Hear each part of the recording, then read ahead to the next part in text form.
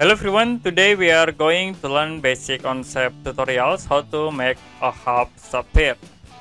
Then you can click sketch and choose front plan. Click uh, front view. Next we draw circle in it. You can create line like start from this point into here. And then use trim command to cut this circle object. Click OK.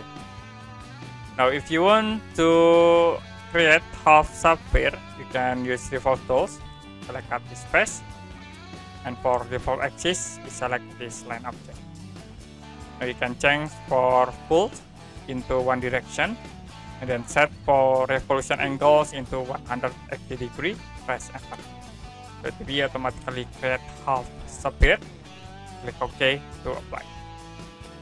Okay, that's it for basic concept tutorials how to make a half sphere.